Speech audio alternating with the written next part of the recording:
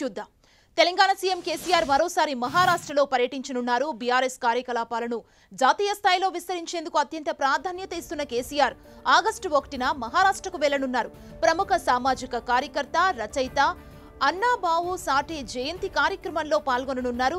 అన్నాబావు జన్మించిన సాంగ్లీ జిల్లా వాటేగావ్ తాలూకా కేంద్రంలో ఆయన చిత్రపటానికి నివాళులర్పిస్తారు. ఈ సందర్భంగా సాటి కోడలు మనవడితో పాటు పలు పార్టీలకు చెందిన నేతలు బీఆర్ఎస్లో చేరనున్నారు. అనంతరం సాంగ్లీ జిల్లా పార్టీ ప్రముఖులతో కేసీఆర్ సమావేశం కానున్నారు.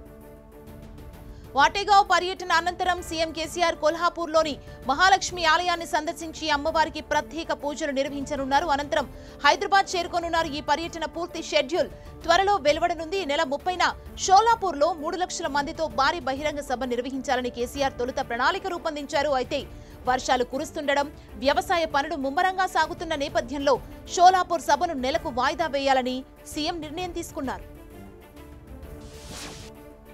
కర్ణాటక ఎన్నికల ఫలితాల అనంతరం తెలంగాణలో రాజకీయ పరిణామాలు వేగంగా మారిపోతున్నాయి. మొన్నటి వరకు బీజేపీ వైపు చూసిన బీఆర్ఎస్ అసంతృప్తి నేతలంతా ఇప్పుడు కాంగ్రెస్ మాట పడుతున్నారు. పొంగులేటి ఇప్పటికే హస్తం పార్టీలో చేరగా జూపల్లి కృష్ణారావు అదే దారిలో నడవబోతున్నారు. దీంతో ఇతర నేతలు వారినే ఫాలో అయ్యేందుకు రెడీ అయ్యారు.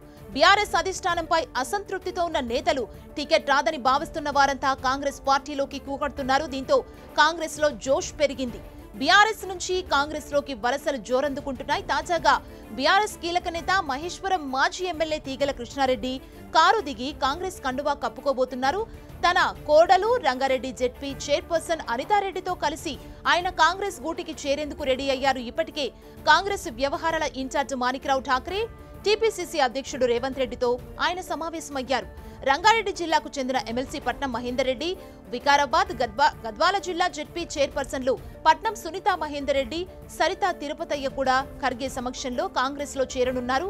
మాజీ ఎమ్మెల్యే వేముల వీరేశం మందుల సామేల్ రామారావు పటేల్ కోదాడకు చెందిన శశిధర్ రెడ్డి ఆరెంజ్ ట్రావెల్స్ అధినేత సునీల్ రెడ్డి హస్తం చెంతకు చేరనున్నారు. మరోవైపు ఎన్ఎం శ్రీనివాస్ రెడ్డి ఏనుగు రవీందర్ రెడ్డి మాజీ ఎమ్మెల్సీ కపిలవాయి దిలీప్ కుమార్లతో కాంగ్రెస్ నేతలు చర్చలు జరుపుతున్నారని తెలుస్తుంది. త్వరలో కొల్హాపూర్లో జరగనున్న ప్రియాంక గాంధీ సభలో వీరంతా కాంగ్రెస్ గూటికి చేరుతారని సమాచారం. మరోవైపు మాణిక్రావు ఠాకరే రేవంత్ రెడ్డి ఇవాళ సాయంత్రం ఢిల్లీ వెళ్ళనున్నారు.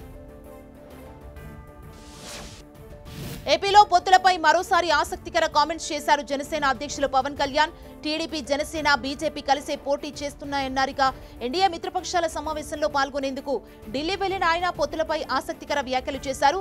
వైసీపీ వ్యతిరేక ఓటు చీలిపోకుండా ఉండాలన్నది జనసేన విధానమన్నారు. టీడీపీ బీజేపీ జనసేన రెండు వేల పద్నాలుగులో కలిసి పోటీ చేశాయని రెండు వేల పంతొమ్మిదిలో విడిపోవటం జరిగిందన్నారు. మళ్ళీ బీజేపీ జనసేన కలిసినా టీడీపీ బీజేపీ మధ్య అండర్స్టాండింగ్ ఇష్యూ ఉందన్నారు.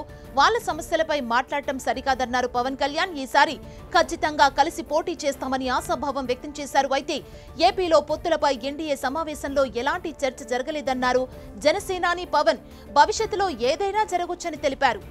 ముఖ్యమంత్రి అభ్యర్థి విషయంపైన స్పందించారు పవన్.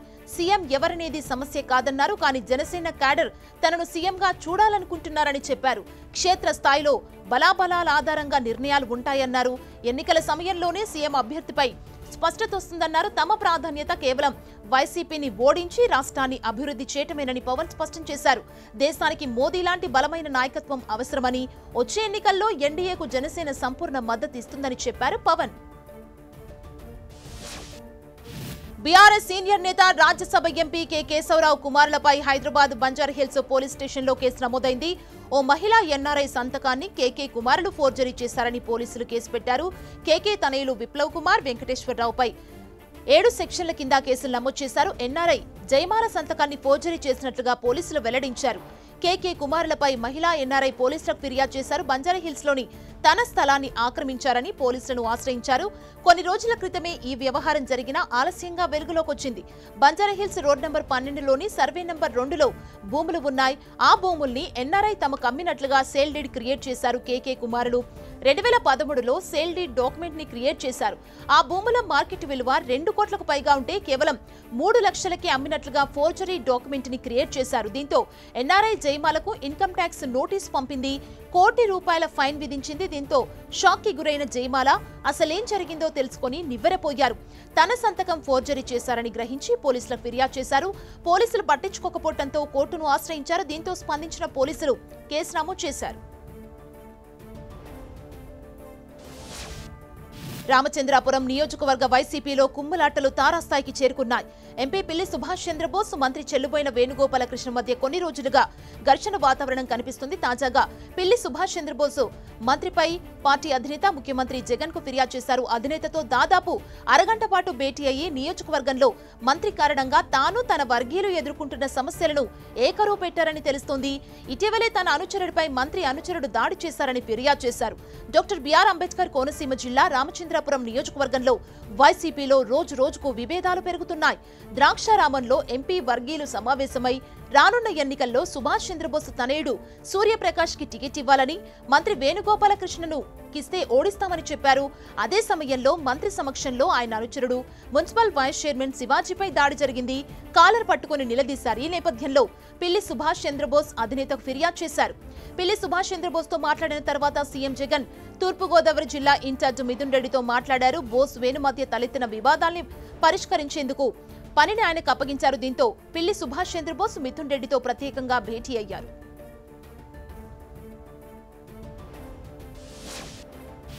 రైతుల పంట రుణాలు మాఫీ చేసేందుకు తెలంగాణ ప్రభుత్వం అడుగులు వేస్తుంది. రెండు వేల పద్దెనిమిది ఎన్నికల సమయంలో ఇచ్చిన లక్ష రూపాయల రుణమాఫీ నెరవేర్చేందుకు రాష్ట్ర ప్రభుత్వం ప్రణాళికలు మొదలుపెట్టింది. కరోనా కారణంగా నాలుగేళ్ళు రైతుల రుణాలు మాఫీ చేయలేదు ప్రభుత్వం. దీంతో లక్షల మంది రైతులను బ్యాంకులకు డిఫాల్టర్లుగా ప్రకటించాయి ఇక లోన్లు చెల్లించాలని రైతులపై బ్యాంకు ఒత్తిడి తెస్తుంది. పంట రుణాలు మాఫీ చేయకపోతే రైతుల్లో వ్యతిరేకత వస్తుందని భావించిన ప్రభుత్వం ఈ సెప్టెంబర్ నెలాఖరు నాటికి రైతుల పంటలు దీనికి సంబంధించి రుణాలను మాఫీ చేయాలంటూ కూడా నిర్ణయం తీసుకున్నట్లు సమాచారం. పంట రుణాల్ని వడ్డీతో కలిపి లక్ష వరకు మాఫీ చేస్తారని రెండు వేల పద్దెనిమిది ఎన్నికల్లో ప్రకటించిన బీఆర్ఎస్ వివిధ కారణాలతో నాలుగేళ్ళుగా రుణమాఫీ చేయలేకపోయింది. ప్రభుత్వం ప్రకటించిన కటాఫ్ తేదీ నాటికి నలభై పాయింట్ ఆరు ఆరు లక్షల మంది రైతులకు ఇరవై ఐదు వేల తొమ్మిది వందల ముప్పై ఆరు కోట్ల రుణాలు ఉన్నట్లుగా లెక్కలు చెబుతున్నాయి. ఒక కుటుంబంలో ఒకరికి చొప్పున మూడు లక్షల తొంభై ఎనిమిది వేల మందిని అనర్హులుగా ప్రకటించిన ప్రభుత్వం ముప్పై ఆరు లక్షల అరవై ఎనిమిది వేల మందికి చెందిన పంతొమ్మిది వేల నూట తొంభై ఎనిమిది కోట్ల రూపాయలను రుణమాఫీ చేయాల్సి ఉందని నిర్ధారించింది. అందులో ఇప్పటి వరకు ఐదు లక్షల నలభై రెండు వేల ఆరు వందల ముప్పై ఐదు మంది రైతులకు చెందిన పన్నెండు వందల ఏడు కోట్ల రుణాలను మాఫీ చేసింది రాష్ట్రంలో. రాజకీయ సమీకరణాలు మారుతున్న నేపథ్యంలో రుణమాఫీ హామీ నెరవేర్చాలని భావిస్తున్న ప్రభుత్వం మిగిలిన రుణమాఫీ కోసం రెండు వేల ఇరవై మూడు ఇరవై నాలుగు బడ్జెట్లో ఆరు వేల మూడు వందల ఇరవై ఐదు కోట్ల రూపాయలను కేటాయించనుంది. పార్లమెంటు వర్షాకాల సమావేశాల నేపథ్యంలో కేంద్ర ప్రభుత్వం ఇవాళ అఖిలపక్ష సమావేశానికి పిలుపునిచ్చింది. రేపటి నుంచి పార్లమెంటు వర్షాకాల సమావేశాలు ప్రారంభం కానున్న నేపథ్యంలో కేంద్ర పార్లమెంటరీ పార్టీ వ్యవహారాల శాఖ మంత్రి ప్రహ్లాద్ జోషి ఆధ్వర్యంలో ఇవాళ ఆల్ పార్టీ భేటీ జరగనుంది. పార్లమెంటు సమావేశాలకు ముందు అన్ని పార్టీలు సమావేశం కావటం సాంప్రదాయంగా వస్తోంది. రేపటి నుంచి ప్రారంభం కానున్న పార్లమెంటు వర్షాకాల సమావేశాల్లో పలు కీలక బిల్లులపై చర్చలు జరగనున్నాయి. ఈ సమావేశాలు తొలిసారి పార్లమెంటు నూతన భవనంలో జరగనున్నాయి. రేపటి నుంచి ఆగస్టు పదకొండు వరకు ఈ సమావేశాలు జరగనున్నాయి. వచ్చే సంవత్సరం లోక్సభ ఎన్నికలు జరగనున్న నేపథ్యంలో ఈ సమావేశాలు వాడివేడిగా జరిగే అవకాశం ఉంది. మణిపూర్ హింసాకాండ ధరల పెరుగుదల కేంద్ర దర్యాప్తు సంస్థల దుర్వినియోగం వంటి అంశాలపై కేంద్ర ప్రభుత్వాన్ని ఇరుకున పెట్టాలని కాంగ్రెస్ సహా ఇతర ప్రతిపక్ష పార్టీలు భావిస్తున్నాయి.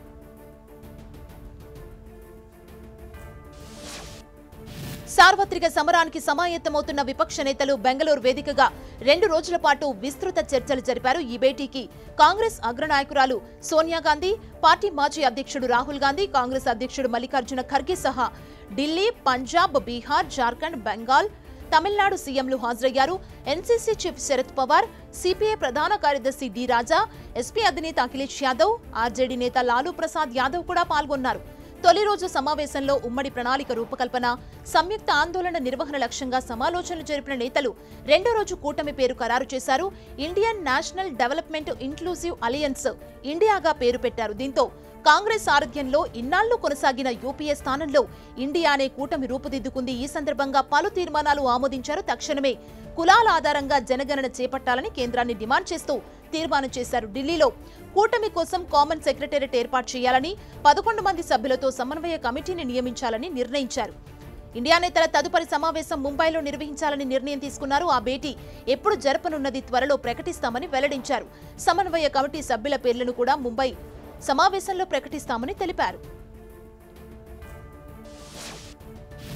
కాంగ్రెస్ సహా ప్రతిపక్షాలు తమ కూటమికి ఐఎన్డీఐకే అని పేరు పెట్టుకోవటంపై బీజేపీ చురకలంటించింది.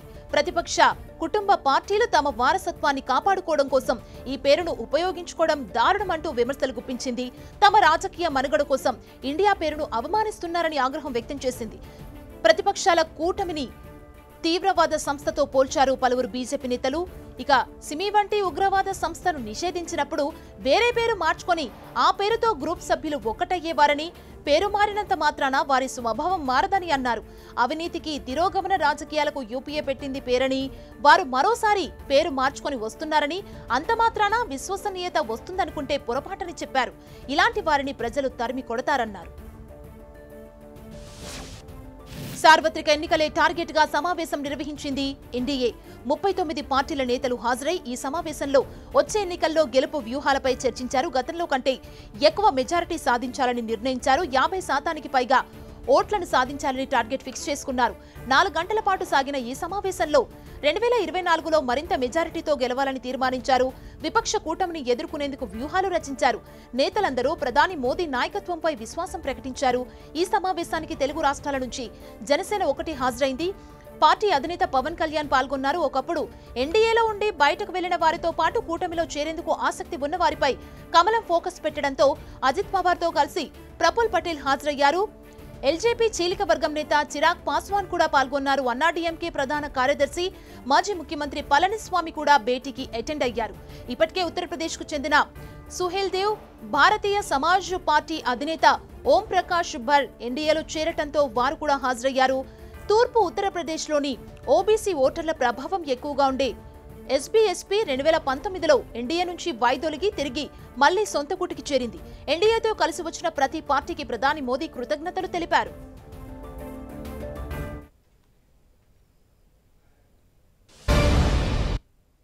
ఎన్డీఏ హార్టీ కొట్టడం ఖాయమన్నారు ప్రధాని మోదీ వచ్చే ఎన్నికల్లో ఎన్డీఏ విజయ పతాకం ఎగురవేయటం ఖాయమన్నారు. అదే సమయంలో భారత ప్రపంచంలో మూడో అతిపెద్ద ఆర్థిక వ్యవస్థగా మారుతుందన్నారు ఢిల్లీలోని ది అశోక్ హోటల్లో జరిగిన ఎన్డీఏ సమావేశంలో ఆయన మాట్లాడుతూ ఎన్డీఏ అంటే న్యూ ఇండియా డెవలప్మెంట్ ఆస్పిరేషన్ అన్నారు. రెండు వేల ఇరవై నాలుగు లోక్సభ ఎన్నికల్లో ఎన్డీఏ ఓట్ షేరు యాభై శాతం దాటాలన్నారు. ఎన్డీఏ అంటే ప్రజల కోసం పనిచేసే కూటమి అన్నారు. దేశం దేశ భద్రత అభివృద్ధి సాధికారత ఇవే ఎన్డీఏ ప్రాథమిక ప్రాధాన్యత అంశాలని పేర్కొన్నారు.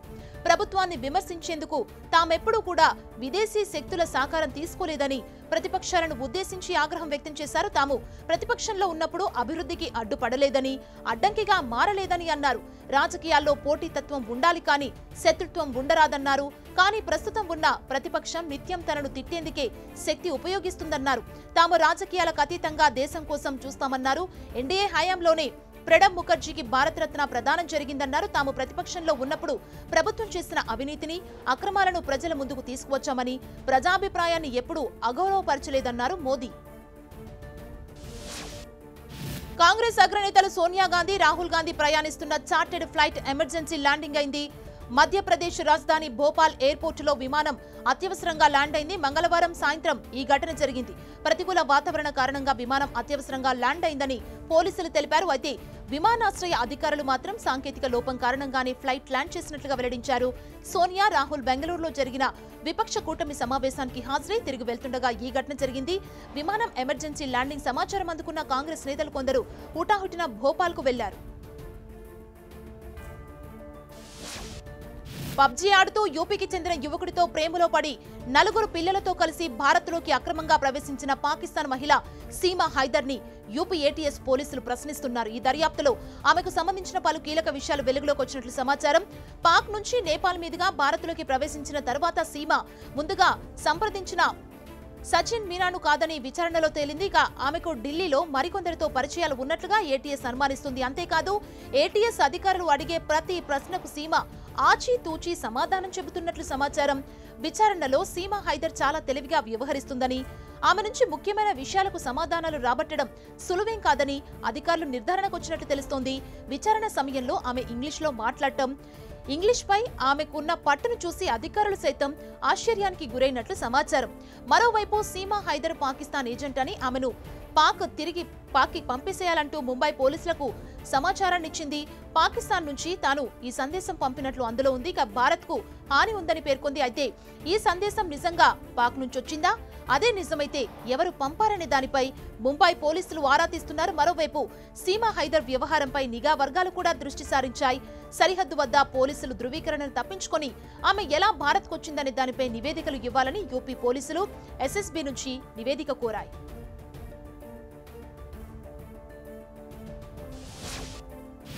ఉత్తర భారతంలో వర్ష బీభత్సం కొనసాగుతుంది. కుండపోత వర్షాలకు వాగులు వంకలు నదులు పొంగి పొరలుతున్నాయి. హర్యానా ఢిల్లీలో ఎడతెరిపి లేని వానలు యమునా నది ఉధృతంగా దీంతో ప్రవహిస్తుంది. దీంతో చారిత్రక కట్టడం తాజ్ మహల్ పరిసరాల్లో యమునా నది వరద ప్రవేశించింది. గడిచిన నలభై ఐదేళ్ళలో తొలిసారిగా తాజ్ మహల్ గోడలు గార్డెన్లోకి యమునా నది నీరు వచ్చి చేరింది. తాజ్ మహల్ దగ్గర యమునా నది వరద గరిష్ట స్థాయి అయిన నాలుగు వందల తొంభై ఐదు అడుగులను దాటి నాలుగు వందల తొంభై ఏడు పాయింట్ తొమ్మిది అడుగులకు చేరింది దీంతో వరద నీరు ఇతిమద్ ఉద్దౌలా సమాధి బయట భాగాల్లోకి కూడా వచ్చేసింది. అయితే యమునా నది ఉధృతి మరింత పెరిగినా తాజ్ మహల్కి ముప్పేమీ లేదని ఆర్కియాలజికల్ సర్వే ఆఫ్ ఇండియా అధికారులు తెలిపారు. వరద ఉధృతి పెరిగినా తాజ్మహల్ ప్రధాన సమాధిలోకి నీరు ప్రవేశించని విధంగా తాజ్మహల్ని నిర్మించారని వెల్లడించారు. ఇక ఢిల్లీ లెఫ్టినెంట్ గవర్నర్ సక్సేనా వరద ప్రాంతాల్లో పర్యటించారు. ట్రాక్టర్ పై ప్రయాణిస్తూ వరద పరిస్థితిని పరిశీలించారు. మరోవైపు భారీ వరదలో ఇప్పటికే ఇక్కట్లు పడుతున్న హస్తవాసులకు పాముల రూపంలో కొత్త సమస్య వచ్చిపడింది వరదల వేళ ఢిల్లీ వ్యాప్తంగా పాముల సంచారం ఎక్కువవడం ఎక్కడ చూసినా సర్పాలే కనిపిస్తుండటంతో వారు బెంబెలెత్తిపోతున్నారు. ఈ సమస్య పరిష్కారానికి అధికార యంత్రాంగం ప్రత్యేక బృందాలను సైతం ఏర్పాటు చేయాల్సి వచ్చింది తెలంగాణలో మరో నాలుగు రోజుల పాటు భారీ నుంచి అత్యంత భారీ వర్షాలు కురిసే అవకాశాలున్నాయని హైదరాబాద్ వాతావరణ కేంద్రం హెచ్చరించింది. అల్పపీడనం కారణంగా ఉపరితల ఆవర్తన ద్రోణి ఏర్పడటంతో భారీ నుంచి అత్యంత భారీ వర్షాలు కురిసే అవకాశం ఉందని తెలిపింది.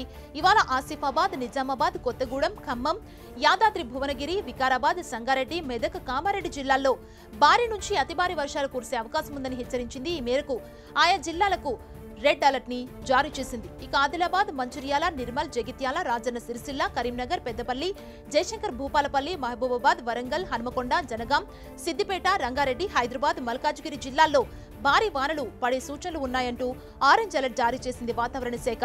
రేపు కూడా పలు జిల్లాల్లో భారీ వర్షాలు కురిసే అవకాశాలు ఉన్నాయని హెచ్చరించింది. వాతావరణ శాఖ హెచ్చరికలతో సీఎస్ శాంతికుమారి అలర్ట్ అయ్యారు. సీనియర్ అధికారులు ఆయా జిల్లాల కలెక్టర్లతో టెలికాన్ఫరెన్స్ నిర్వహించారు. ఆయా జిల్లాల అధికారులను అప్రమత్తం చేశారు. ఎలాంటి ప్రాణ నష్టం జరగకుండా చూడాలని సూచించారు. లోతట్టి ప్రాంతాల్ని గుర్తించి పరిస్థితుల్ని ఎప్పటికప్పుడు పర్యవేక్షించాలని కలెక్టర్స్ అందరినీ ఆదేశించారు. కంట్రోల్ రూమ్లను ఏర్పాటు చేయాలని చెప్పారు. భారత అంతరిక్ష పరిశోధనా సంస్థ ఇస్రో చేపట్టిన చంద్రయాన్ త్రీ ప్రయోగం విజయవంతంగా కొనసాగుతుంది. ఇప్పటి వరకు రెండుసార్లు కక్షను విజయవంతంగా పెంచగా మంగళవారం మరోసారి మూడోసారి కక్షను పెంచింది ఇస్రో. బెంగళూరు నుంచి ఈ విన్యాసాన్ని నిర్వహిస్తున్నట్లుగా పేర్కొంది ప్రస్తుతం. చంద్రయాన్ త్రీ భూమికి నలభై ఒక్క వేల ఆరు వందల మూడు కిలోమీటర్లు రెండు వందల ఇరవై ఆరు కిలోమీటర్ల దూరంలో ఉన్న భూ కక్షలో ఉందని ఇస్రో వివరించింది. రేపు మధ్యాహ్నం రెండు నుంచి మూడు గంటల సమయంలో మరోసారి ఇంజన్ని బర్న్ చేసి కక్షను పెంచనున్నట్లుగా పేర్కొంది. హెచ్ వన్ బి వీసాదారులకు అమెరికా శుభవార్త చెప్పింది. ఇకపై హెచ్ వన్ బి వీసాదారులు కెనడాలోనూ పనిచేయొచ్చని ప్రకటించింది. యుఎస్ హెచ్ వన్ బి వీసాదారులు పదివేల మందికి కెనడా ఓపెన్ వర్క్ పర్మిట్ స్ట్రీమ్ని ప్రారంభించింది. అమెరికాలో ఉన్న డెబ్బై ఐదు శాతం భారత హెచ్ వన్ బి వీసాదారులకు దీని ద్వారా ప్రయోజనం చేకూరనుంది. ఈ వీసా కలిగిన పదివేల మంది దరఖాస్తులను కెనడా ప్రభుత్వం స్వీకరించనుంది. గత నెలలో జరిగిన టైటాన్ టూరిస్టు సబ్మెర్సిబుల్ పేలుడుపై సంచలన విషయాలు వెలుగులోకొచ్చాయి. సబ్మెర్సిబుల్ డిజైన్లోనే అనేక లోపాలు ఉన్నట్లు శాస్త్రవేత్తలు ఎత్తిచూపారు. సబ్మెర్సిబుల్ నిర్మాణ సమయంలో ఖర్చు తగ్గింపు చర్యలు సందేహాస్పద డిజైన్ల ఎంపిక ఇందుకు కారణమై ఉండొచ్చని తెలిపారు. న్యూయార్క్ టైమ్స్ నివేదిక ప్రకారం టైటాన్ టూరిస్ట్ సబ్మెర్సిబుల్ నిర్మాణ సమయంలో ఓషన్ గేట్ పొదుపు చర్యలతో అసాధారణ డిజైన్ల ఎంపిక చేసిందని టెస్టింగ్ నిర్వహణ లోపంతో పాటు సర్టిఫికేషన్ పర్యవేక్షణ లోపంతో సబ్మెర్సిబుల్ పేలుడు సంభవించిందని పేర్కొంది. సంప్రదాయ సబ్మెర్సిబుల్ కాకుండా టైటాన్ కాప్సిల్స్ ఆకారాన్ని కలిగి ఉండటము ఓ కారణమని తేల్చింది.